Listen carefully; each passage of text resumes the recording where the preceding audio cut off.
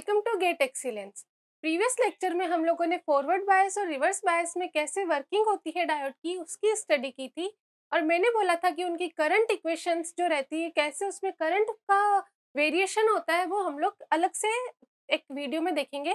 तो मैंने ये कंपेरेटिव स्टडी आप लोगों को यहाँ पे कराऊँगी। जब आपका अनबायस्ड रहता है डायोड फॉरवर्ड और रिवर्स बायस में रहता है तो उन तीनों में कैसे करंट में डिफरेंस आता है तो वो मैं आपको एक साथ एक ही वीडियो में एक्सप्लेन कर दूँगी ताकि आपके माइंड में कंपेरेटिव स्टडी हो सके। ठीक है? हम कंपैरिजन के फॉर्म में इसको देखेंगे और ये बहुत ही इंपॉर्टेंट है गेट पॉइंट ऑफ़ व्यू से। करंट इक्वेशन जो रहती है डायोड की वो बहुत ही इंपॉर्टेंट है। तो देखिए कैसे होता है? ये हम लोगों ने स्टडी किया है अनबायस्ड कंडीशन के अंदर मतलब इसके अंदर हम लोगों ने कोई भी वोल्टेज अप्लाई नहीं किया रहता है। फॉरवर्ड में हम लोग पी को पॉजिटिव टर्मिनल से एंड एन को नेगेटिव टर्मिनल से कनेक्ट करते हैं और रिवर्स बायस में हम लोग पी को नेगेटिव टर्मिनल से एंड एन को पॉजिटिव टर्मिनल से कनेक्ट करते हैं। ये हम लोगों ने देखा था। हम लोगों ने ये भी देखा था कि फॉरवर्ड बायस में क्या होता है, जो डिप्लेशन विथ होती है वो क्या हो जाती है? डिक्रीज हो जाती है। मीन्स पहले ये डिप्लेशन विथ थी, फिर ये क्या हो गई? डिप्लेशन विथ कम हो गई एंड क्या होता है? इलेक्ट्रिक फ़ील्ड जो इनबिल्ट हमारा इलेक्ट्रिक फ़ील्ड होता है वो भी डिक्रीज हो जाता है, पोटेंशियल बैरियर भी क्या हो जाता है? डिक्रीज हो जाता है। और रिवर्स बायस के अंदर क्या रहता है कि आपकी जो डिप्लेशन विथ होती है, वो अब इंक्रीज हो जाती है। पहले के कंपैरिजन में, पहले के मतलब अनबायस्ड के कंपैरिजन में जो बैरियर पोटेंशियल है, वो भी इंक्रीज हो जाता है। इलेक्ट्रिक फ़ील्ड भी क्या हो जाता है इंक्रीज हो जाता है। तो इंक्रीज हो गया बट अब क्या होता है? आगे देखिए करंट कैसे फ्लो होती है? तो इसके अंदर तो हम लोगों ने देखा था कि जो ड्रिफ्ट है और डिफ्यूजन है, वो प्रोसेस इक्वल होती है और एक करंट फ्लो होती है आई ड्रिफ्ट देखिए इन तीनों केसेस में दो टाइप की करंट फ्लो होगी। एक फ्लो होगी ड्रिफ्ट करंट और दूसरी दूसरी फ्लो होगी डिफ्यूजन करंट अच्छे से समझिएगा आप लोग? एकदम फोकस के साथ समझिएगा। दो टाइप की करंट हमारे इसके अंदर दो फिनोमिना हो रहे हैं। मैंने बोला था डिफ्यूजन कब होता है? जब आपका कंसंट्रेशन ग्रेडियंट होता है। कंसंट्रेशन ग्रेडियंट इसके अंदर लाइक कर रहा है, इस तरफ़ ज़्यादा होल है, इस तरफ़ कम होल है, इस तरफ़ ज़्यादा इलेक्ट्रॉन से, इस तरफ़ कम इलेक्ट्रॉन से तो we got dn by dx and dp by dx. So, concentration gradient is there. So, diffusion current will be there. Okay. Drift कैसे आई? ड्रिफ्ट मैंने बोला था कि जब भी आपको दिखे वर्ड इलेक्ट्रिक फ़ील्ड तो आप वहाँ पर आँख बंद करके टिक कर दीजिए कि वहाँ पर ड्रिफ्ट करंट आएगी ही आएगी। ठीक है? तो इसके अंदर इलेक्ट्रिक फ़ील्ड कैसे आया था, वो हम लोग देख चुके हैं। एक इनबिल्ट इलेक्ट्रिक फ़ील्ड जनरेट हुआ था। अब इलेक्ट्रिक फ़ील्ड आ गया तो उसकी वजह से क्या होगा? ड्रिफ्ट प्रोसेस होगा ड्रिफ्ट प्रोसेस की वजह से ड्रिफ्ट करंट आएगी। ठीक है? अब ये जो ड्रिफ्ट करंट है, ये भी क्या होगी? दो टाइप की होगी। Due to holes and due to electrons है ना? और जो आपकी डिफ्यूजन करंट है, वो भी दो टाइप की होगी। Due to holes and due to electron ठीक है? तो अनबायस्ड कंडीशन में तो हम लोगों ने इनकी डायरेक्शन भी देखी थी। तो अब देखते हैं जब आपका अनबायस्ड है डायोड तब देखिए क्या था आपका। हम लोगों ने देखा था कि जो आपकी डिफ्यूजन की प्रोसेस थी और ड्रिफ्ट की प्रोसेस थी, वो क्या हो रही थी? इक्वल हो रही थी, ठीक है? अब देखिए। बहुत अच्छे से समझिएगा स्टूडेंट्स इसको, क्योंकि हम लोग इससे बहुत ही एक अच्छा डेरिवेशन करने वाले हैं, जिस पे बेस्ड आपके गेट में क्वेश्चंस आए हैं। तो देखिए, उसके अंदर आपके अनबायस्ड कंडीशन के अंदर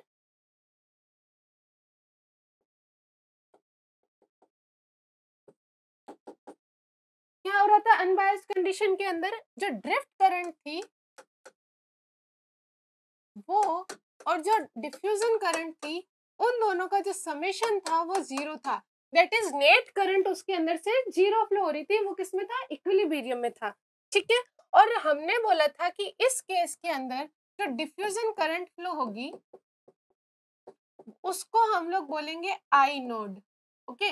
जो डिफ्यूजन करंट फ्लो होगी, उसको हम लोग बोलेंगे आई नोड एंड जो ड्रिफ्ट करंट है, अब यहाँ से देखिए आई ड्रिफ्ट इक्वल्स टू कितना आया? माइनस ऑफ़ आई डिफ्यूजन तो आई ड्रिफ्ट कितनी आ जाएगी? माइनस ऑफ़ आई नोड ये माइनस क्यों आया? ये करंट का आप लोगों ने नेटवर्क में पढ़ा होगा कि करंट में माइनस कब आता है? जब आप उसकी एक कन्वेंशन ले लेते हैं, आप एक उसको एक डायरेक्शन अज्यूम कर लेते हैं कि मुझे इस डायरेक्शन के अंदर करंट पॉजिटिव लेनी है और उस डायरेक्शन के ऑपोजिट आपके करंट फ्लो होने लगती है तो तब आप उसको नेगेटिव लेते हैं, ठीक है? तो देखिए, हमारे इस केस के अंदर ड्रिफ्ट करंट, ड्रिफ्ट का, ड्रिफ्ट कहाँ से कहाँ हो रहे, देखिए, जो यहाँ के इलेक्ट्रॉन है, वो इधर क्या हो रहे थे? ड्रिफ्ट हो रहे थे।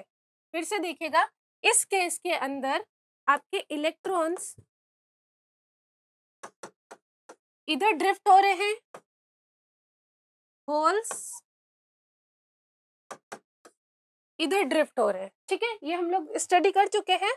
तो जो करंट है, ड्रिफ्ट करंट जो ड्यू टू इलेक्ट्रॉन है, वो किस डायरेक्शन में फ्लो होगी? एन टू पी तो ये कहाँ से फ्लो हुई? एन टू पी ठीक है ना? क्योंकि आपके इलेक्ट्रॉन इधर ड्रिफ्ट हो रहे हैं तो करंट इधर आ जाएगी तो एन टू पी होल आपके एन टू पी फ्लो हो रहे हैं तो आपकी जो होल की वजह से ड्रिफ्ट करंट है, वो भी कहाँ एन टू पी ठीक है? तो ये जो ड्रिफ्ट करंट है टोटल, ओवरऑल, वो किधर से किधर आएगी? एन टू पी और हम लोग पी टू एन करंट को क्या ले रहे हैं? पॉजिटिव ठीक है? सबसे पहले, देखिए, हम लोगों को ऐसे एक्सप्लेन करना पड़ता है, ऐसे पढ़ाना पड़ता है कि स्टूडेंट्स को जो बिगिनर है, उनके अकॉर्डिंग पढ़ाना पड़ता है, ठीक है? तो जिनको पहले से आता है, वो प्लीज़ अपना पेशेंस बनाए रखें, ठीक है? तो जो पी टू एन करंट है, वो हमने ले ली है पॉजिटिव ठीक है? Is this clear now see तो आपके ये जो ड्रिफ्ट करंट है, ये कौन से डायरेक्शन में आ गई है? ये ड्रिफ्ट करंट कौन से डायरेक्शन में आ गई है? N to P and diffusion current कौन से डायरेक्शन में आएगी? डिफ्यूजन करंट का भी देखते हैं। देखिए diffusion current due to holes अब होल्स आपके इधर डिफ्यूज हो रहे हैं okay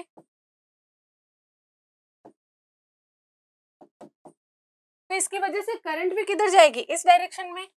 That is P to N ये चीज़ मैं आपको ऑलरेडी एक्सप्लेन कर चुकी हूँ, इसलिए मैं इसमें ज़्यादा टाइम नहीं ले रही हूँ। इलेक्ट्रॉन किधर डिफ्यूज हो रहे हैं? एन टू पी तो करंट कहाँ से फ्लो होगी पी टू एन इन दोनों का जब समेशन होगा तो टोटल जो डिफ्यूजन करंट है, वो कहाँ से कहाँ जाएगी? पी टू एन तो आपकी जो डिफ्यूजन करंट आ गई, वो कहाँ से कहाँ आ गई? पी टू एन तो ये हो गई पॉजिटिव और ये हो गई नेगेटिव अब देखिए, आप ड्रिफ्ट करंट इलेक्ट्रिक फ़ील्ड पर डिपेंड करती है और आपकी जो डिफ्यूजन करंट है वो कंसंट्रेशन ग्रेडियंट पर डिपेंड करती है। ठीक है, ये हम लोग स्टडी कर चुके हैं। बट यहाँ पर क्या हो रहा है कि जो डिफ्यूजन है और ड्रिफ्ट है, वो इक्वल हो रही है। ठीक है, equal in the sense magnitude इनका क्या है, इक्वल है। मीन्स अगर ये टू एम्पियर है तो ये minus ampere is very much large. ये अगर टू नैनो एम्पियर है तो ये भी कितनी होगी, माइनस टू नैनो एम्पियर। मतलब जो इसका मैग्नीट्यूड है वो क्या होगा? इक्वल होगा, ठीक है? अब देखिए, मैग्नीट्यूड इक्वल इसमें इसलिए हो रहा है, इसका मतलब ये है कि जितने आपके कैरियर्स ड्रिफ्ट हो रहे हैं, उतने ही क्या हो रहे हैं? डिफ्यूज हो रहे हैं, ठीक है? बहुत अच्छे से समझिएगा स्टूडेंट्स, जितने कैरियर्स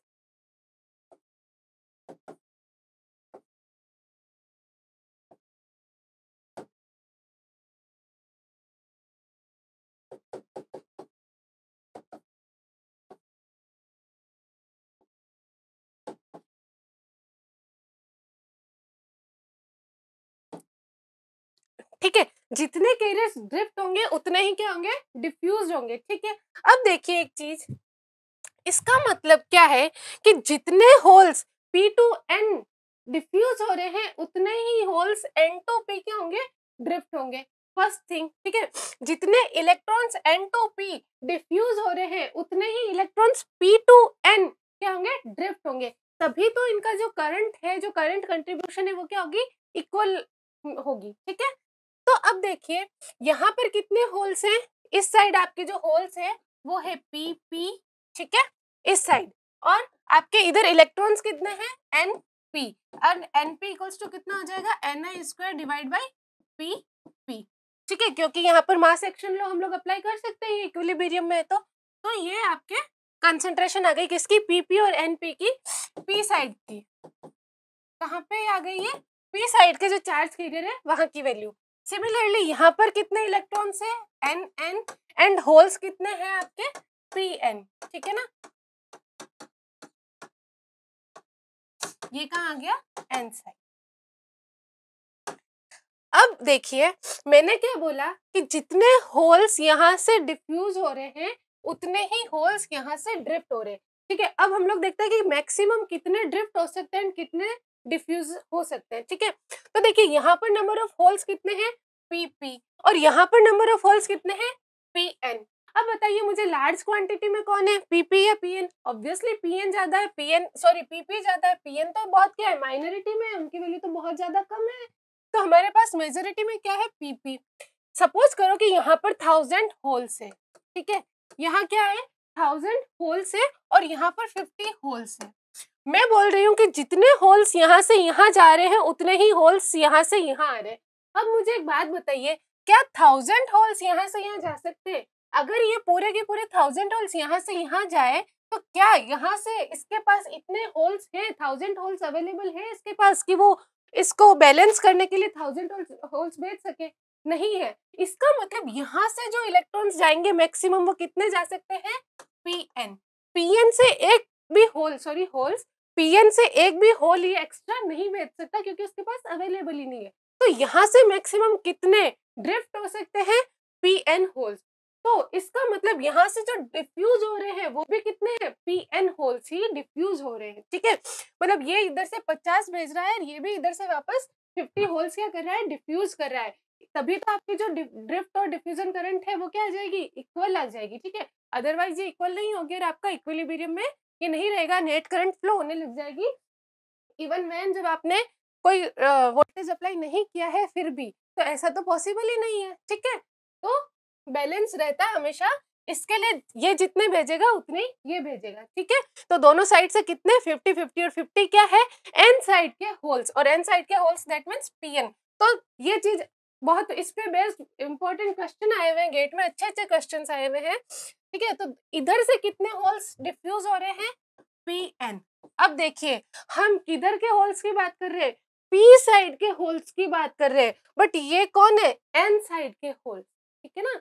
तो होल्स जा तो पी साइड से ही रहे बट वो डिपेंड कर रहे हैं नंबर उनका जो, उनकी जो नंबर है, उनकी जो क्वांटिटी है, वो डिपेंड कर रही है कि आपके एन साइड में होल्स कितने ठीक है? फ़र्स्ट थिंग ये क्लियर हो गई, ठीक है? अब ऐसा नहीं है कि जो पी एन आ गया तो आप लोग बोल दो कि अच्छा एन साइड के होल से जा रहे जहाँ पी साइड के रहे हैं बट वो जो नंबरिंग है वो क्या है? इस पर डिपेंड करिए। इसका मतलब ये थाउज़ेंड में से फिफ्टी जो है वो इसके पास जा रहे हैं। इज़ दिस क्लियर सिमिलरली जो ये कंसेप्ट है, ये किस पे अप्लाई होता है आपके? इलेक्ट्रॉन्स पे अप्लाई होता है। जितने इलेक्ट्रॉन्स इधर से इधर डिफ्यूज होंगे, उतने ही इधर से इधर क्या होंगे? ड्रिफ्ट होंगे। और यहाँ से कितने ड्रिफ्ट हो सकते हैं? एनपी तो यहाँ से डिफ्यूज में कितने होंगे? एनपी तो कितने डिफ्यूज और ड्रिफ्ट हो रहे इलेक्ट्रॉन्स एनपी ठीक है? तो दोनों साइड से जो ड्रिफ्ट और डिफ्यूजन का जो नंबरिंग है, कि चार्ज कैरियर का, वो कितना है? इतना है? ये चीज़ आप लोगों को क्लियर हुई? ये चीज़ बहुत इंपॉर्टेंट है। अगर ये चीज़ आपको नहीं समझ में आई है तो बैक कीजिए वीडियो को रिवाइंड कीजिए और फिर से समझिए कि क्या प्रोसेस हो रही है। ठीक है? क्योंकि इसी के बेसिस पे आप लोगों के आगे प्रोसीड होंगे हम लोग। अब देखिए, नंबर ऑफ़ केरस डिफ्ट ये आप लोगों को समझ में आ गया, ठीक है? अब देखिए, हम लोगों ने रिलेशन पढ़ा था। मैंने बोला था आप लोगों को कि आगे काम आएगा। P P upon P N equals to कितना होता है? E to the power Q V B I divide by K T ये होता है रिलेशन आप लोगों को मैंने बोला था कि इसको याद कर लीजिए, ये आगे काम आएगा। And N N equals to N N by N P equals to A to the power Q V B I by K T ये होता है रिलेशन ठीक है? सो so, आपका पी पी कितना हो गया? P N into A to the power Q V B I by K T and आपका एन एन कितना हो गया? N P E to the power Q V B I by K T अब एक चीज़ और देखिए आप लोग। हम लोग जब बात करते हैं ना ये P P N P N N and P N तो इनकी क्या यूनिट होती है? पर सेंटीमीटर क्यूब? ये हम लोग देख चुके हैं कि एटम पर सेंटीमीटर क्यूब या फिर जनरली एटम नहीं लिखते हैं, सिर्फ़ क्या लिख देते हैं? पर सेंटीमीटर क्यूब। मीन्स एक वॉल्यूम जो है, एक सेंटीमीटर एक सेंटीमीटर क्यूब के वॉल्यूम में जो आपके कंसंट्रेशन है, उसकी वैल्यू देता है। ठीक है, ये पीपी ऐसा नहीं है कि पूरे पी के अंदर जो है पीपी होल्स है, ओके? ऐसा नहीं है। ये पीपी क्या है? जो आपका वन सेंटीमीटर होगा, मीन्स एक सेंटीमीटर स्क्वायर का क्रॉस सेक्शन एरिया और जो एक सेंटीमीटर की आपकी जो ये विथ होगी, उसमें कितना है आपका? सपोज़ करो ये मेरा वन सेंटीमीटर स्क्वायर का एक क्रॉस सेक्शन एरिया मेरे को मिल रहा है, ठीक है? और ये मेरी विथ होगी तो इस रीजन के अंदर आपके पास क्या है? पी पी होल्स है बहुत अच्छे से समझिएगा। ठीक है? Similarly next one centimetre width में भी कितने? पी पी फिर पी पी इस टाइप से आपके ये डिस्ट्रीब्यूट रहते हैं। इधर पे आपके ऐसे ही रहता है एन एन फिर एन एन इस टाइप से एन एन ठीक है? और जो आपके माइनॉरिटी में कौन है? पी एन तो पी एन भी आपके रहते हैं। P N P N P N हर सेंटीमीटर की डिस्टेंस पे आपको ऐसे मिलेंगे और यहाँ पे क्या मिलेगा? N P N P N P इस टाइप से आपको ये मिलते जाएँगे, ठीक है? अब देखिए कि जो ड्रिफ्ट और डिफ्यूजन होता है ना, ये जो यहाँ पर डिप्लेशन विथ का जो एज होता है ना, ये डिप्लेशन विथ है और ये डिप्लेशन विथ के एजेज है दोनों।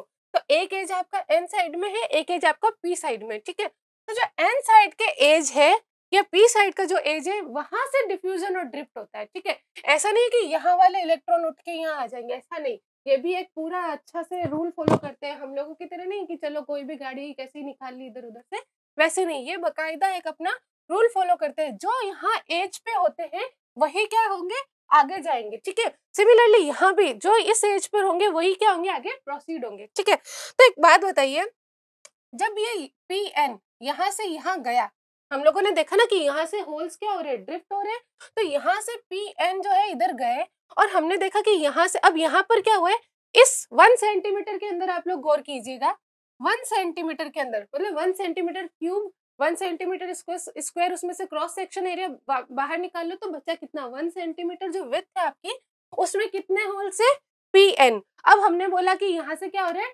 ड्रिफ्ट हो रहे हैं तो यहाँ से क्या हो गया पी एन होल्स ड्रिफ्ट हो गए। पहले पी एन होल्स अवेलेबल थे, अब वहाँ से पी एन होल्स ड्रिफ्ट हो गए। रिमेनिंग कितने बचे? ज़ीरो फिफ्टी अवेलेबल थे। इस वन सेंटीमीटर में फिफ्टी सारे के सारे उधर चले गए। कितने बचे? ज़ीरो एंड देन क्या होगा? डिफ्यूजन होगा। मतलब पहले मैं ऐसा नहीं बोल रही कि ड्रिफ्ट पहले होगा डिफ्यूजन पहले होगा। मैं आप लोगों को सब समझा रही हूँ बस। अब क्या हुआ? डिफ्यूजन प्रोसेस आई पिक्चर में। डिफ्यूजन ने क्या किया? यहाँ से फिफ्टी होल्स भेजे डिफ्यूज किए। तो वापस यहाँ से फिफ्टी आए और यहाँ पर कितने आ गए? फिफ्टी। तो यहाँ पर अब कंसेंट्रेशन फिर से कितनी हो गई? Zero plus fifty that is fifty. तो किसी भी इंस्टेंट पे कोई जब देखेगा तो उसको लगेगा कि यहाँ पे फिफ्टी क्या हो रहा है? मेंटेन हो रहा है, ठीक है? उसको लगेगा ही नहीं कि यहाँ पे चेंजेस हो रहा है, जबकि एक्चुअल में प्लस फिफ्टी माइनस फिफ्टी ऐसे हो रहा है, ठीक है ना? बट वो ऑलरेडी वहाँ पर आपको हमेशा क्या दिखता रहेगा? फिफ्टी दिखता रहेगा, जबकि क्या हो रहा है? माइनस फिफ्टी हुआ, ज़ीरो हुआ देन अगेन प्लस फिफ्टी हुआ तो फिफ्टी हो गया। ठीक है तो ये प्रोसेस यहाँ पर चलता है। तो किसी भी टाइम पे अनबायस्ड कंडीशन में यहाँ पर हमेशा कितने होल्स रहेंगे? पी एन होल्स ही रहेंगे। और यहाँ पर कितने इलेक्ट्रॉन्स रहेंगे? एन पी इलेक्ट्रॉन्स ही रहेंगे। सेम प्रोसेस यहाँ से आपके कुछ जाएँगे और इधर से उतने के आ जाएँगे और ये बैलेंस बना रहेगा। ठीक है? तो ये जो तो ये जो पी एन और एन पी है, ठीक है? पी एन और एन पी है हम लोग एक तरह से इसको क्या बोल सकते हैं? पी एन क्या बोला मैंने? पी एन एक तो हो गया कि एन साइड के इलेक्ट्रॉन्स है सॉरी एन साइड के होल्स हैं और ये क्या है? पी साइड के इलेक्ट्रॉन्स है। दूसरा हम पी एन क्या बोल सकते हैं? दूसरा हम ये बोल सकते हैं कि ये क्या है? जो एज पे कंसेंट्रेशन है वो है, जो एज पे माइनॉरिटी कंसेंट्रेशन है, वो है। है ना? ये देखिए, यहाँ पर as per concentration P N है और यहाँ पर as per concentration N P है और ये क्या हो रही है? बैलेंस हो रही है, ठीक है? एज पर जो कंसेंट्रेशन है, ध्यान रखिए, ठीक है? थ्रू आउट पूरे में P N P N P N है बट एज पे भी कितनी है? पी एन है। यहाँ पे सब जगह एनपी एनपी है बट एज पे भी कितनी है? एनपी है, ठीक है? तो यहाँ तक आप लोगों को समझ में आ गया। इज़ दिस क्लियर अब हम लोग इस आई नोड की बात करते हैं, ये आई नोड ये आई नोड क्या है? इस आई नोड पे ये सब कुछ आप लोगों को समझ में आ गया? ये फिर से आपके आगे काम आएगा तो अगर नहीं समझ में आया तो आप लोग फिर से वीडियो देख लीजिए और अच्छे से इसको माइंड में सेट कर लीजिए। अब ये आई नोड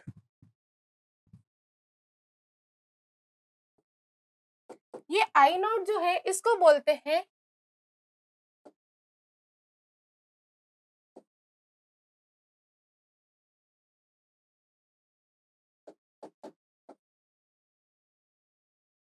इसको बोलते हैं रिवर्स सेचुरेशन करंट और रिकम्बिनेशन करंट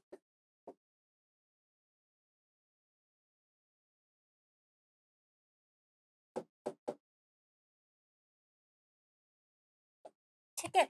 जो आइनोड है, इसको बोलते हैं रिवर्स सेचुरेशन करंट और रिकम्बिनेशन करंट देखिए, क्या होता है, हमारे जो, हम लोग इसको लेते हैं आई ड्रिफ्ट करंट है, ठीक है? जो आपकी आई ड्रिफ्ट करंट थी ड्रिफ्ट करंट का फॉर्मूला कितना होता है? आपकी जो ड्रिफ्ट करंट है, वो किस पर डिपेंड करती है? कि आपके कितने नंबर ऑफ़ चार्ज कैरियर्स है? आपका क्यू कितना है? और mu into E. Mu into E को हमने क्या नाम दिया था? वीडी, ड्रिफ्ट वेलोसिटी, ठीक है? तो देखिए, क्या होता है कि आप लोगों का जो ये इलेक्ट्रिक फ़ील्ड होता है ना, अनबायस्ड कंडीशन में, ये बहुत हाई होता है, ठीक है? इसकी वैल्यू क्या रहती है? बहुत हाई रहती है। तो और उसको जब आप लोग म्यू से मल्टीप्लाई करते हैं ना ये क्या होता है वीडी की वैल्यू बहुत हाई हो जाती है और ये सेचुरेट हो जाता है। ये क्या हो जाता है? सेचुरेट हो जाता है। तो मैंने जब आप लोगों को ड्रिफ्ट वेलोसिटी बढ़ाया था तो मैंने आप लोगों को बताया था कि एक पॉइंट के बाद आप कितना भी इलेक्ट्रिक फ़ील्ड इंक्रीज करो, आपका वीडी क्या होता है? इंक्रीज नहीं होता है। ये हम लोगों ने देखा था ना, जब आपका टेन टू दावर फोर से अगर ग्रेटर हो जाए इलेक्ट्रिक फ़ील्ड तो आपका जो ड्रिफ्ट वेलोसिटी है, वो क्या होती है? अब इंक्रीज नहीं होती है, ठीक है? तो वही यहाँ पर भी हो रहा है। यहाँ पर इलेक्ट्रिक फ़ील्ड क्या होता है? बहुत ज़्यादा होता है कि उसके जो म्यू के साथ मल्टीप्लीकेशन के बाद जो ड्रिफ्ट वेलोसिटी है, वो क्या हो जाती है? सेचुरेट हो जाती है। ठीक है? अब क्या होता है? इसके बाद जब आप इलेक्ट्रिक फ़ील्ड इंक्रीज करते हैं ना तो ये अब आपकी इंक्रीज जो वीडी जो है, वो इंक्रीज नहीं होता है। ठीक है? मीन्स अब आप इलेक्ट्रिक फ़ील्ड कितना ही बढ़ाओ। अगर आपने इलेक्ट्रिक फ़ील्ड बढ़ाया तो उसके अकॉर्डिंग आपकी क्या हो जाएगी? म्यू कम हो जाएगी और जो आपका वीडी है, वो कांस्टेंट रहेगा। ठीक है? तो सपोज़ करो कि मैंने इलेक्ट्रिक फ़ील्ड बढ़ाया कब बढ़ाया हम लोगों का इलेक्ट्रिक फ़ील्ड कहाँ बढ़ा है? देखिए। रिवर्स बायस में इंक्रीज हो रहा है। रिवर्स बायस में मैंने बोला था कि आपका इलेक्ट्रिक फ़ील्ड क्या हो जाता है? इंक्रीज हो जाता है। ठीक है? तो देखिए सपोज़ कीजिए अब ये इलेक्ट्रिक फ़ील्ड इंक्रीज हो गया। इलेक्ट्रिक फ़ील्ड इंक्रीज हुआ तो आपकी मोबिलिटी क्या हो जाएगी? कम हो जाएगी। और आपका जो कौन, दोनों का मल्टीप्लीकेशन है वो क्या रहेगा? कॉन्स्टेंट रहेगा। एन आपका इतना चेंज नहीं होगा, क्योंकि नंबर ऑफ़ माइनॉरिटी कैरियर्स तो चेंज होने नहीं है, वो तो पहले भी एनपी थे और पीएन थे, अब भी उतने ही रहेंगे। क्यों आपका चेंज होना नहीं है? तो ये जो आई नोट करंट होती है ना, जो ड्रिफ्ट करंट होती है, ठीक है, जो ये आई नोट है आपकी रिवर्स सेचुरेशन करंट, ये रिकॉम्बिनेशन करंट, ये फिर आपके इलेक्ट्रिक फ़ील्ड पर डिपेंड नहीं कर रही है, ठीक है? आपने अब एक्सटर्नल वोल्टेज आप कुछ भी लगाई है, ठीक है? यहाँ पर हम लोग एक्सटर्नल वोल्टेज लगा रहे हैं ना वी एफ़ लगाया हमने। वी आर लगाया, ठीक है? तो इससे इलेक्ट्रिक फ़ील्ड कम हुआ, ज़्यादा हुआ, भले कम ज़्यादा हो, ये कम करके उतना भी कम नहीं कर देता कि आपकी आई नोट जो है वो पूरी ज़ीरो ही हो जाए, ठीक है? तो अब क्या होगा? तो ये आई नोट जो रहती है वो, जो आपके अप्लाई किया है वोल्टेज उस पर डिपेंड नहीं करती है, ठीक है? ये डिपेंड करती है टेम्परेचर पर। किस पर डिपेंड करती है? टेम्परेचर पर, ठीक है ना? क्या होता है कि देखिए माइनॉरिटी करंट क्या रहता है? हम, ये होती है, आप जब टेम्परेचर इंक्रीज करते हैं तो जनरेशन होता है चार्ज कैरियर का और उसके बाद क्या होता है? रिकम्बिनेशन होता है। तो जो रिकम्बिनेशन होगा उसकी वजह से ये करंट क्या हो रही है? फ्लो होती है, ठीक है? इसलिए इसको बोलते हैं रिकम्बिनेशन करंट। अब टेम्परेचर ज़्यादा होगा तो ज़्यादा जनरेशन होगा, ज़्यादा आपके रिकम्बिनेशन होगा तो ये फिर करंट क्या हो जाएगी? ज़्यादा हो जाएगी, ठीक है? तो ये टेम्परेचर पे डिपेंड करती है पूरी तरह से, ओके? ठीक है? तो ये आई नोड आपको समझ में आ गई। एक तो ये डिपेंड कर है टेम्परेचर पे, दूसरी ये डिपेंड करती है एरिया जो आपका क्रॉस सेक्शन एरिया कितना है सेमीकंडक्टर का, उस पर डिपेंड करती है, ठीक है? तो इस पे भी फॉर्मूला बेस्ड जो क्वेश्चन है वो आए हैं। एरिया चेंज कर देते और बोलते हैं कि अब आप लोग आई नोट की वैल्यू बताओ। तो जो आई नोट होती है, इसका एक फॉर्मूला होता है, वो होता है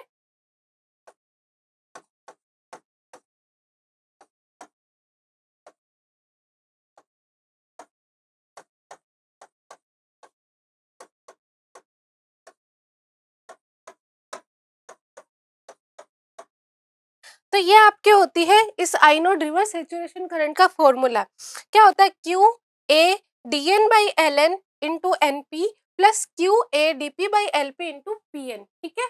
तो इसका मतलब देखिए, आपके एन पी क्या है? माइनॉरिटी कैरियर्स ठीक है? जो आपके पी साइड के माइनॉरिटी होल इलेक्ट्रॉन से वो, और आपके पी एन क्या है? जो आपके एन साइड के माइनॉरिटी होल से वो। तो ये आई नोट जो है वो माइनॉरिटी पे डिपेंड करिए ऑब्वियसली बात है आपके जो ड्रिफ्ट करंट है ड्रिफ्ट करंट किसकी वजह से फ्लो होगी? माइनॉरिटी कैरियर की वजह से फ्लो होगी? क्योंकि ड्रिफ्ट किसका हो रहा था? माइनॉरिटी का हो रहा था ना? हमने अभी देखा यहाँ पर। जो आप लोगों के हमने बोला था कि यहाँ से क्या ड्रिफ्ट हो रहा है? होल्स यहाँ से ड्रिफ्ट हो रहे हैं, ठीक है ना? देखिए, एन टू पी जो आपके ड्रिफ्ट हो रहे हैं, वो क्या हो रहे हैं? होल्स ड्रिफ्ट हो रहे हैं, ठीक है ना? तो ये तो करंट लिखी है हम लोगों ने। तो यहाँ से यहाँ पर होल्स ड्रिफ्ट हो रहे हैं, ठीक? तो क्या हो रहा है? माइनॉरिटी ड्रिफ्ट हो रहा है, यहाँ से इलेक्ट्रॉन ड्रिफ्ट हो रहा है। तो कौन ड्रिफ्ट किस पर दे रहा है अपना इफ़ेक्ट माइनॉरिटी कैरियर पर दे रहा है। तो देखिए, ये करंट भी किस पर डिपेंड कर रही है? जो माइनॉरिटी कैरियर कंसेंट्रेशन है, उस पर डिपेंड कर रही है, ठीक है? फ़र्स्ट थिंग ये सेकेंड थिंग देखिए क्यू कांस्टेंट है डी और एल भी कांस्टेंट है, इनके बारे में भी हम लोग पढ़ चुके हैं, जो डिफ्यूजन कांस्टेंट और ये डिफ्यूजन लेंथ होती है, ठीक है? अब यहाँ पर आप इलेक्ट्रॉन्स की बात करें तो D N and L N आ गया। रेस्ट रिमेनिंग क्या रहा एरिया आपका, ठीक है? तो अगर आप सारी चीज़ें कॉन्स्टेंट रखें एरिया अगर चेंज करें तो उतने ही अमाउंट से क्या हो जाएगी आपकी, ये रिवर्स सेचुरेशन करंट क्या हो जाएगी? चेंज हो जाएगी, ठीक है? तो इस पे बेस में क्वेश्चन आते हैं। तो आप लोग इस फॉर्मूला को भी अपने माइंड में सेट कर लीजिए, ठीक है? तो इक्विलिब्रियम कंडीशन के अंदर आपकी जो ड्रिफ्ट करंट है वो कितनी फ्लो होगी? माइनस ऑफ़ दिस मतलब ये करंट है और आप आगे एक माइनस साइन लगा दीजिए तो क्या हो जाएगी? ये करंट आपके ड्रिफ्ट करंट फ्लो होगी और इतने ही अमाउंट की डिफ्यूजन करंट फ्लो होगी। ठीक है? इतने ही अमाउंट की आपके क्या होगी? डिफ्यूजन करंट फ्लो होगी। ठीक है? ये किस केस में? इक्विलिब्रियम के या फिर अनबायस्ड केस में। ठीक है? तो आपके आई डिफ्यूजन कितनी हो गई अब? आई नोड हो गई। आई ड्रिफ्ट कितनी हो गई? माइनस आई नोड हो गई। और आपके आई नोड की वैल्यू कितनी हो गई? इतनी। Is this clear overall current कितनी हो गई आपकी? ओवरऑल करंट कितनी हो गई? I equals to I drift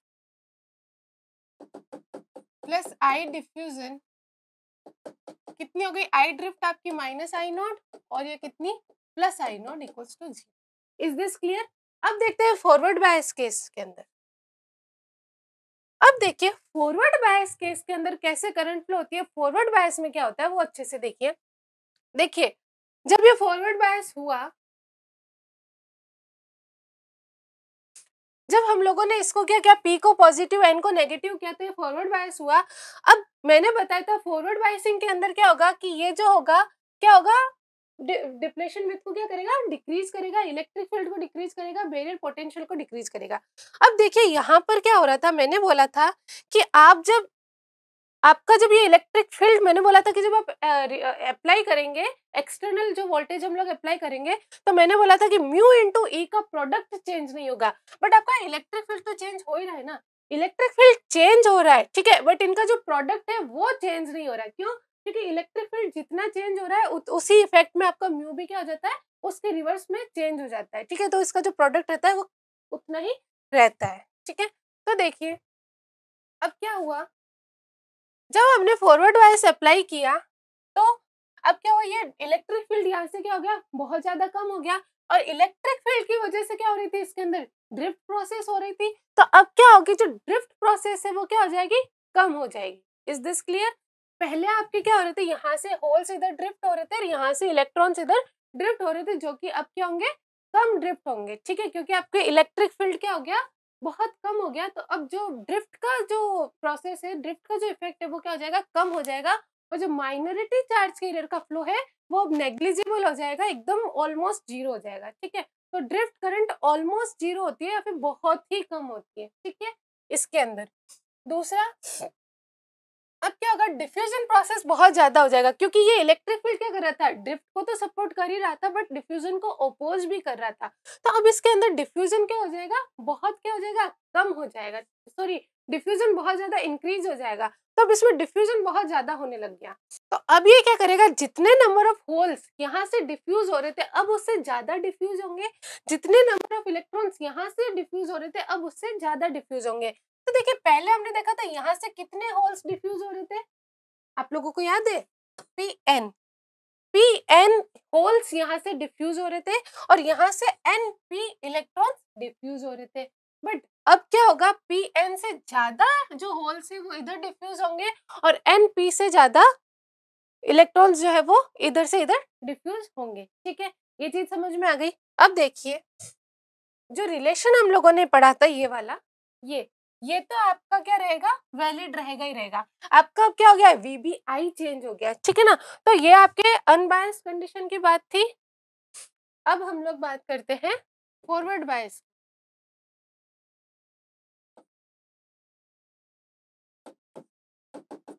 तो फॉरवर्ड बायस के अंदर क्या रहा? अब आपके जो पीपी जो पीपी तो पीपी ही रहेंगे, जो मीन्स होल्स थे पी साइड के, वो तो उतने ही रहेंगे। अब आपके यहाँ से पी एन होल्स ना डिफ्यूज होके let say P N one holes जो हो रहे हैं, वो डिफ्यूज हो रहे हैं। ठीक है? क्योंकि हम लोगों ने देख लिया कि अब जो नंबर ऑफ़ होल्स डिफ्यूज हो रहे हैं पी साइड से, वो क्या हो रहे हैं? ज़्यादा हो रहे हैं। ठीक है? तो अब वो पी एन नहीं रहे। पी एन से क्या हो गए? ज़्यादा हो गए। कितने हो गए? लेट से पी एन वन हो गए। देखिए, इसी पे क्वेश्चन आया था। तो और ये जो E to the power Q V naught VBI की जगह अब कितना आ गया? वीबीआई माइनस का आपका फॉरवर्ड वोल्टेज डिवाइड बाई ठीक है? ये क्लियर हो गया?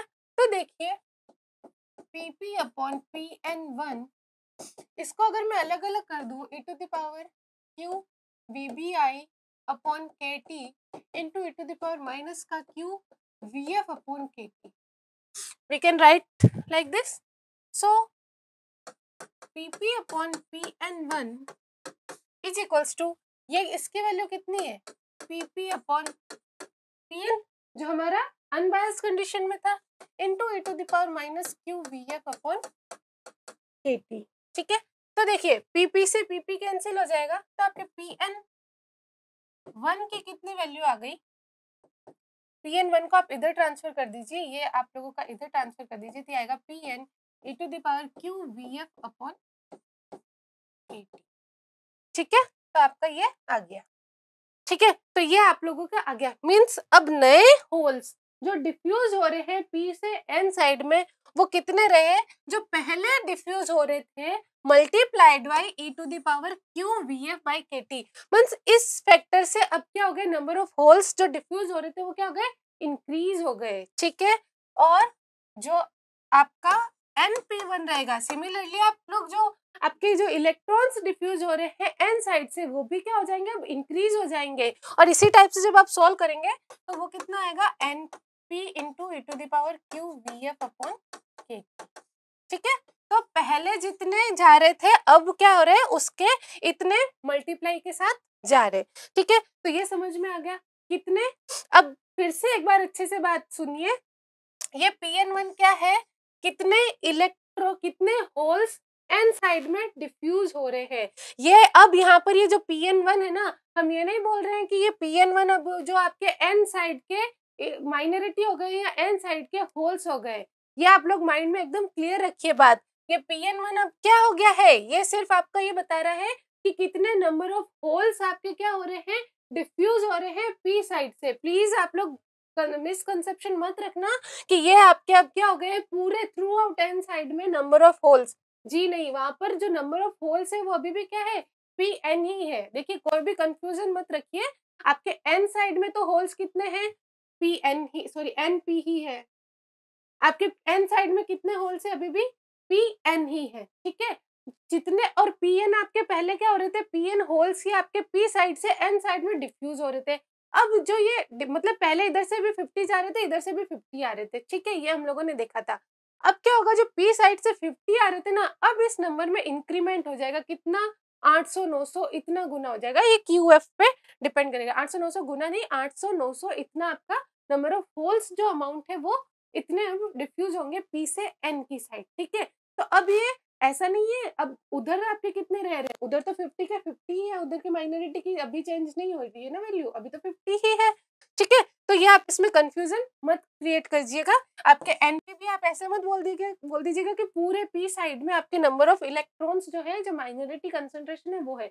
जी नहीं, ये आपके कितने इलेक्ट्रॉन्स एन साइड से पी साइड में डिफ्यूज हो रहे हैं, उसका वैल्यू है, ठीक है? आप चाहे तो इसको, अगर आपको इसके जो हम लोगों ने इसको सिंबल किया है, इसको पी एन वन बोला है, आप इसको कुछ और भी बोल सकते हैं, जो भी आपको लगे। आप पी डिफ्यूज बोल सकते हैं, इसको एन डिफ्यूज बोल सकते हैं, ठीक है? जो भी आपको कंफर्टेबल लगे। फॉरवर्ड बायस कंडीशन में तो आप इसको एन एफ़ डिफ्यूजन बोल सकते हैं पी एफ़ डिफ्यूजन कुछ भी आपके अकॉर्डिंग आप लोग देख सकते हैं, ठीक है? और ये ये रिलेशन भी आपको बिल्कुल माइंड में सेट करना है, इसी पे बेस्ड आपके क्वेश्चन आया हुआ है गेट के अंदर, ठीक है? ये आ गया, ये क्लियर हो गया आप लोगों को? अब देखिए, मैंने आप लोगों को बोला था कि जो आपकी कंसंट्रेशन रहती है, वो पर सेंटीमीटर में आप लोगों के डिस्ट्रीब्यूट रहती है। यहाँ भी पी एन यहाँ भी पी एन यहाँ भी एन एन एन एन इस टाइप से रहती है, ठीक है? अब मैंने बोला था कि जो डिफ्यूजन होगा, वो कहाँ से होता है? एज से होता है, ठीक है? जो जस्ट ये एज है, वहाँ से होता है। तो देखिए अब यहाँ फॉरवर्ड बायस कंडीशन के अंदर जो आपके पी साइड से कितने होल्स यहाँ पर आ रहे हैं? पी एन वन कितने होल्स है? पी एन वन अब ये पी एन वन होल्स कहाँ जाएँगे? एज पर जाएँगे। तो इसके अंदर एक सेंटीमीटर के अंदर होल्स कितने आ गए? पी एन वन क्योंकि यहाँ से होल्स पी एन वन गए तो यहाँ पर अब होल्स एज पर कितने होल्स आ गए? पी एन वन ठीक है? और यहाँ से जो आगे बाकी के जो वन सेंटीमीटर है उसमें आपका पी एन पी एन ही समझ में आया ये चीज़ आप लोगों को? यहाँ से पी एन वन गए और मैंने बोला कि डिफ्यूजन और जो ड्रिफ्ट की प्रोसेस होती है वो एज पे इफ़ेक्ट डालती है। तो एज पर आपके कितने होल्स आ गए? पी एन वन बट बाकी जो पूरा सेमीकंडक्टर है, वहाँ तो क्या है? अभी भी पी एन होल्स ही है। तो अब यहाँ अंदर क्या हो गया? कंसंट्रेशन ग्रेडियंट बन गया, ठीक है? यहाँ पर होल्स ज़्यादा और यहाँ पर होल्स कम बन गए, ठीक है? तो अब क्या होगा? यहाँ पे एक डिफ्यूजन करंट फ्लो होगी। क्या होगी? एक डिफ्यूजन करंट फ्लो होगी, ठीक है? तो इस प्रोसेस को मीन्स यहाँ से होल्स एन साइड में गए ना, इसको बोलते हैं इंजेक्शन यहाँ से होल इंजेक्ट हुए एन साइड के अंदर। और ये अब डिफ्यूजन जो हो रहा है, ये इसको प्रोसेस को बोलेंगे डिफ्यूजन ठीक है? यहाँ तक क्लियर इंजेक्शन हुआ, फिर डिफ्यूजन हुआ। और आगे जाके क्या होगा? रिकम्बिनेशन हो जाएगा, ठीक है? क्योंकि इसकी अगर हम लोग जो विथ है वो अगर एल से ज़्यादा ले ले एलपी से ज़्यादा ले ले तो ये क्या हो जाएँगे? डिफ्यूज हो जाएँगे। ये भी हम लोगों ने केस पढ़ा है। तो ये किस टाइप का केस बन गया? देखिए, हम लोगों ने स्टडी किया था एक्सेस कैरियर कंसंट्रेशन किया था कि नहीं किया था? उसके अंदर क्या हो रहा था? जब हम लाइट फॉल कर रहे थे तो उसके सिर्फ़ एक साइड पर आप लोगों के कैरियर कंसंट्रेशन क्या हो रही थी इंक्रीज हो रही थी। बाकी पोर्शन में सेम थी तो उस वजह से डिफ्यूजन करंट फ्लो हो रही थी और एक वो एक्सपोनेंशियली डीके हो रहे थे। वही चीज़ यहाँ भी होगी। यहाँ पे भी आपके क्या हो रहा है? एक साइड एक एज पर आप लोगों की कंसेंट्रेशन इंक्रीज हो गई, बाकी जगह सेम है। अब ये क्या हो गया? कंसेंट्रेशन ग्रेडेड बन गया और कैसे डिके होंगे ये भी? एक्सपोनेंशियली जो है ये कैरियर्स डिके होंगे। क्यों डिके होंगे? क्योंकि इनका क्या हो रहा है? रिकम्बिनेशन होते जा रहा है और ये क्या हो रहा है? कम होते जा रहे हैं, ठीक है? तो इस डिफ्यूजन की वजह से करंट फ्लो होगी आई डिफ्यूजन ठीक है? और उसके अंदर हमने ये भी देखा था कि कांस्टेंट हम लोग लाइट फॉल कराते थे, थे। तो ये जो होता था एक्सपोनेंशियल डिके मेंटेन रहता था मींस जितने गायब होते थे उतने ही आते जाते रहते थे पीछे से और पूरा एक मेंटेन रहता था ठीक है? तो वही चीज़ यहाँ भी हो रही है। कैसे? यहाँ से पी एन वन होल्स गए यहाँ पर। तो यहाँ पर अब पी एन वन होल्स की कमी आ गई। ये पी एन वन होल्स की कमी जो है ये पॉजिटिव टर्मिनल कंप्लीट कर देगा। ये पॉजिटिव टर्मिनल क्या करेगा? इसको P N one holes supply करेगा इस डायरेक्शन के अंदर। ठीक है? तो यहाँ पर फिर से पी एन वन आ गए तो यहाँ का कांस्टेंट रहा होल की वैल्यू फिर यहाँ से यहाँ पी एन वन गए, और जो जिस अमाउंट में ये डिफ्यूज हो रहे हैं रिकम्बाइन हो रहे हैं, वो आपका कांस्टेंट होता रहेगा। ठीक है? तो पी एन वन इधर फ्लो हो रही है तो आपकी जो डिफ्यूजन करंट है होल की वजह से, वो भी किधर फ्लो होगी? इधर फ्लो होगी। सिमिलरली आपके जो एन साइड से इलेक्ट्रॉन्स है, उनके साथ भी यही प्रोसेस हो रहा होगा। आपके यहाँ से एन पी वन जाएँगे तो यहाँ पर कितने आ जाएँगे? एन पी वन आ जाएँगे और यहाँ सब जगह एन पी एन पी है तो यहाँ भी क्या होगी? डिफ्यूजन होगा अब इनका एक्सपोनेंशियल डीके होगा, वही चीज़ जो यहाँ पर हो रही है, वो यहाँ हो रही है। अब यहाँ से एन पी वन इधर गए तो इसका मतलब यहाँ पर एन पी वन इलेक्ट्रॉन्स की कमी आ गई तो वो कमी को ये नेगेटिव टर्मिनल कंप्लीट करेगा मीन्स ये इसको इधर से एनपी वन अमाउंट में क्या करेगा? इलेक्ट्रॉन्स सप्लाई करेगा।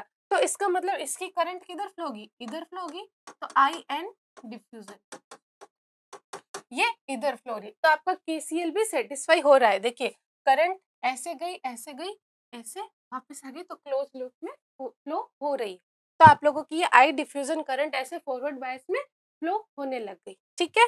तो ऐसे आप लोगों को एक ओवरऑल करंट मिलती है diffusion current that is P to N ठीक है? क्लियर अब देखिए एक चीज़, जो डिफ्यूजन करंट है, वो मेजोरिटी कैरियर की वजह से फ्लो हो रही है। मेजोरिटी मीन्स अब देखिए, हम लोग बोल रहे हैं कि P N one current flow हो रही है एनपी वन की वजह से करंट फ्लो हो रही है, ठीक है? तो अब पहले तो ये देख लीजिए कि ये डिफ्यूज हो रहे हैं तो इसकी जो प्रोफ़ाइल होगी वो किस टाइप की होगी? ऐसी ही होगी? इसी टाइप से आपके जो इलेक्ट्रो, जो होल्स आए हैं, वो ऐसे एक्सपोनेंशियल डिके होंगे और जो आपके इलेक्ट्रॉन्स आए हैं, वो भी ऐसे डिके होंगे और फिर एक जगह जगह पे उसकी वैल्यू क्या हो जाएगी, जो एक्सेस कैरियर कंसेंट्रेशन है उसकी वैल्यू क्या हो जाएगी, ज़ीरो हो जाएगी और जो इक्विलिब्रियम में आपके कंसेंट्रेशन थी, फिर से वही हो जाएगी। सिमिलरली यहाँ भी ऐसा ही होगा। तो ये चीज़ हम लोगों ने एक्सेस कैरियर कंसेंट्रेशन में स्टडी कर चुके हैं हम लोग तो वही यहाँ पर आ रहा है। इसीलिए मैंने आपको वहाँ पे बोला था कि आप लोग अच्छे से स्टडी कर लीजिए, क्योंकि आगे आप लोगों की चीज़ें रिलीवेंट होंगी। ठीक है? तो ये आप लोगों को समझ में आ गया है। अब देखिए, पहले क्या हो रहा था? यहाँ से यहाँ पर पी एन जो है वो आ रहे थे। इधर से इधर कितने होल्स आ रहे थे? पी एन अब कितने आ रहे हैं? पी एन वन और पी एन वन और पी एन में रिलेशन हमको पता है। ये होता है। पी एन वन क्या हो गया? जितने पहले आ रहे थे अब इतने अमाउंट में एक्स्ट्रा आ रहे हैं। ठीक है? तो पहले जो डिफ्यूजन करंट थी, वो कितने कितनी फ्लो हो रही थी? जो आपकी आई डिफ्यूजन थी, वो कितनी थी? आई नोड थी। कितनी थी? आई नोड थी, ठीक है? अब जो आपके कैरियर कंसेंट्रेशन है, वो क्या है? इस अमाउंट से इंक्रीज हो गए। तो आपकी जो करंट होगी ना आई डिफ्यूजन वो भी इसी अमाउंट से इंक्रीज हो जाएगी।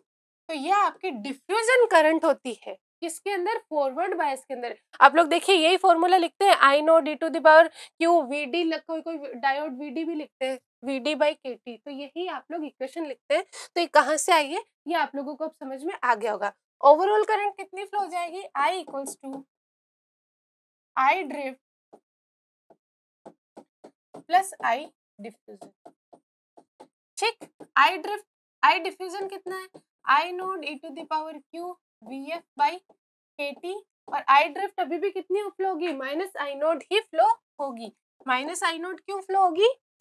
मैंने बताया था कि जो आपका ये, जो आपकी आई नोड करंट है, वो एक्सटर्नल वोल्टेज पर क्या करती है? डिपेंड नहीं करती है तो ये अभी भी अपने आप को मेंटेन रखेगी, कितना आई नोड के बराबर ही रखेगी, ठीक है?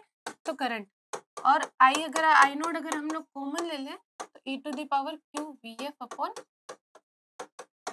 ये इक्वेशन जो है आप लोग पढ़ते हैं तो ये आपके डायोड के करंट की इक्वेशन होती है।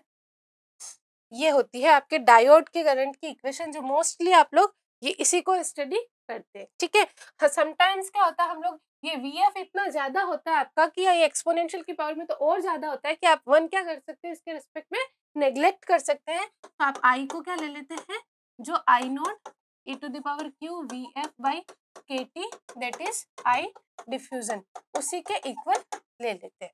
ठीक है? तो ये ऐसे आपके क्या हो रही है? फॉरवर्ड करंट फ्लो हो रही है। ठीक है? तो हम इसको भी नोट डाउन कर लेते हैं यहाँ पे। तो ये केस कहाँ पर था? इक्विलिब्रियम के और फॉरवर्ड बायस के अंदर क्या हो जाएगा? एंड इक्विलिब्रियम मीन्स अनबायस अब यहाँ पर क्या हो रहा है? I equals to I diffusion plus I drift कितना आ गया? आई नोड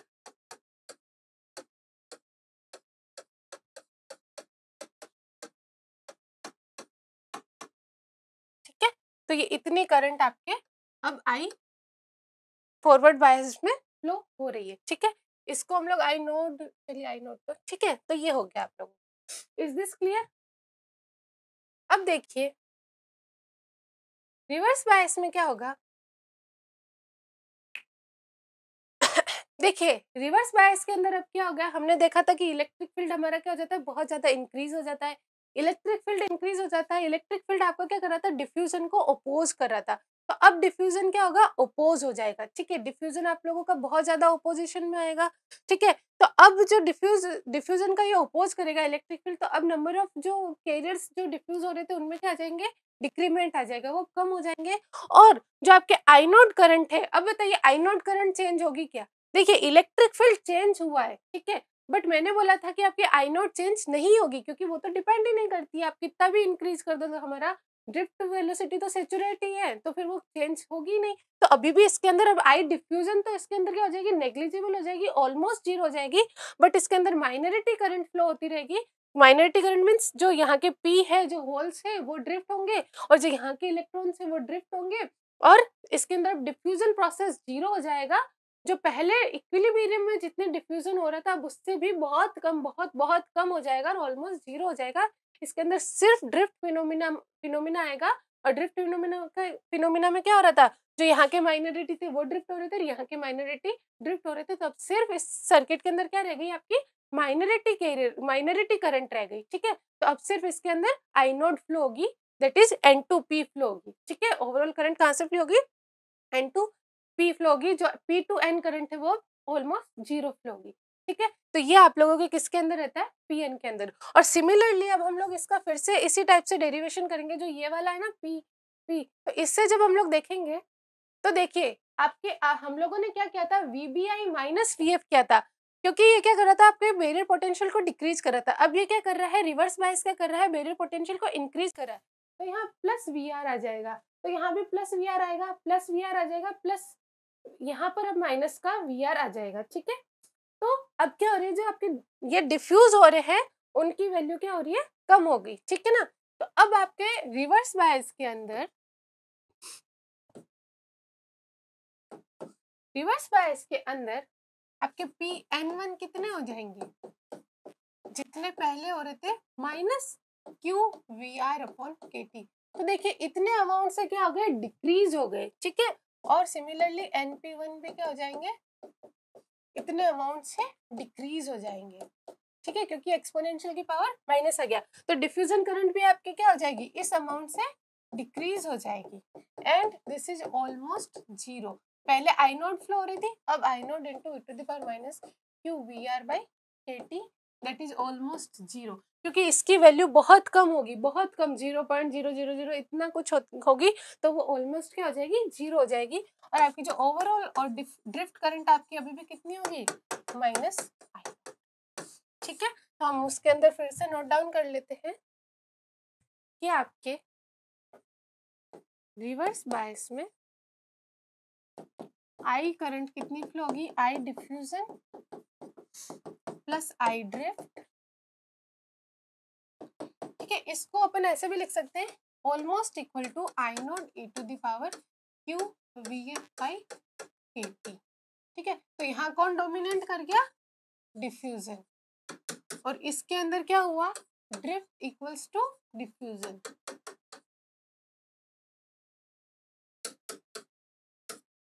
ठीक है अब यहाँ पर आपकी आई डिफ्यूजन कितनी आ गई? I naught E to the power minus का Q V R upon K T minus का आई नोट, ये तो अभी भी उतनी ही रहेगी और इसको हम लोग almost equal to I naught. क्यों? क्योंकि इसकी वैल्यू आपकी क्या होती है? बहुत कम। तो इसके अंदर कौन डोमिनेट कर रहा है? तो ये देखिए, हमारे ये क्या हो गई? एक कंपेरेटिव स्टडी हमारे पास हो गई। तो इन तीनों में से जो सबसे ज़्यादा करंट होती है ना, वो होती है फॉरवर्ड बायस के अंदर। मीन्स फॉरवर्ड बायस के अंदर हमको बहुत अच्छी वैल्यूज़ मिलती है अमाउंट इसका अच्छा मिलता है करंट का, ठीक है? तो डायोड बेसिकली रेक्टिफिकेशन के पर्पज में काम आता है। देखिए, जब हम लोग इसको रिवर्स बायस कर रहे हैं ना तो आई नोट करंट फ्लो है आई नोट की भी वैल्यू जो रहती है ना, बहुत कम रहती है नेग्लिजिबल रहती है इसकी वैल्यू ठीक है? बट इसकी वैल्यू एक अच्छी सिग्निफिकेंट रहती है। तो जब आप डायोड को ये डायोड का सिंबल है। इसको जब फॉरवर्ड बायस करेंगे तो इसके अंदर से क्या होगा? करंट फ्लो होने लग जाएगी, ठीक है? और कुछ करंट जो है इसके अंदर से लेट से पास हो गई, इतनी करंट और जब हम लोग इसको रिवर्स बायस कर देंगे तो इसके अंदर से ज़ीरो करंट फ्लो होने लगी तो इसने एक तरह से क्या किया? रेक्टिफिकेशन का काम कर दिया कि कुछ चीज़ें तो पास कर रहा है बट कुछ चीज़ें ब्लॉक कर रहा है, कुछ चीज़ें को ये आगे पास नहीं कर रहा, उस पर हमको ज़ीरो रेस्पॉन्स दे रहा है। तो यही तो रेक्टिफिकेशन में यही होता था, हम लोगों ने पढ़ा इलेवन ट्वेल्थ में रेक्टिफायर्स। ठीक है ना? तो ये डायोड क्या कर रहा है? मेनली रेक्टिफिकेशन के अंदर वर्क करता है। तो ये कैसे इस पर हमारे डीसी एनालिसिस होगा, जो कि हम लोग एनालॉग इलेक्ट्रॉनिक्स के अंदर स्टडी करेंगे, कि अलग अलग हम लोग इसके साथ फॉरवर्ड बायस रिवर्स बायस करेंगे। ठीक है? वैसे, और रिवर्स बायस को अगर बहुत ज़्यादा इंक्रीज करते तो ब्रेक डाउन में हो जाते तो वो हम लोग सेपरेट वीडियो के अंदर ब्रेक डाउन के भी देखेंगे। तो हमारे लार्ज करंट किसमें फ्लो हो रही है? फॉरवर्ड बायस में। तो हमने देखा था कि एक्सपोनेंशियली इंक्रीमेंट होता है। आपकी जो फॉरवर्ड बायस की करंट की इक्वेशन थी कितनी थी? I naught D to the power Q V F upon K T minus I naught तो माइनस आई नोट तो नेग्लिजिबल है। ये है आप लोगों के। तो ये अब एक्सपोनेंशियली ऐसे इंक्रीमेंट होगी और ये वैल्यू रहती है नी वोल्टेज एक पॉइंट रहता है नी वोल्टेज मतलब नी वोल्टेज से पहले करंट तो फ्लो होती है बट उस करंट की वैल्यू क्या रहती है? कम रहती है। बहुत कम रहती है, ठीक है, बहुत ही कम। देखिए मिली एम्पेयर में होती है डायोड की करंट। ठीक है? तो और इस साइड में हम लोग एन टू पी मतलब पी टू एन है, ये पॉजिटिव करंट नेगेटिव करंट है इस साइड मतलब ये एन टू पी फ्लो हो रही है, ठीक है?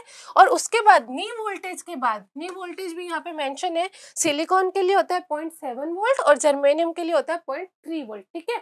और ध्यान रहे मैंने पहले भी बोला है नी वोल्टेज और बेगर पोटेंशियल दोनों डिफरेंट चीज़ें है, दोनों सेम चीज़ नहीं है। बट नी वोल्टेज के बाद ये एक्सपोनेंशियली एकदम से इंक्रीज होती है क्या आपकी फॉरवर्ड करंट ठीक है? ये फॉरवर्ड बायस के। और रिवर्स बायस के केस में देखिए, अभी रिवर्स बायस इंक्रीज हो रहा है मतलब ऐसे तो वोल्टेज तो डिक्रीज हो रहा है बट जो उसका मैग्नीट्यूड है वो क्या हो रहा है? इंक्रीज हो रहा है इंक्रीज हो रहा है। बट जो करंट है, देखिए, वो कांस्टेंट है। हमने बोला था इसकी वैल्यू होती है आई नोड ठीक है? हमने बोला था कि जो रिवर्स सेचुरेशन करंट है, इसको लीकेज करंट भी बोलते हैं।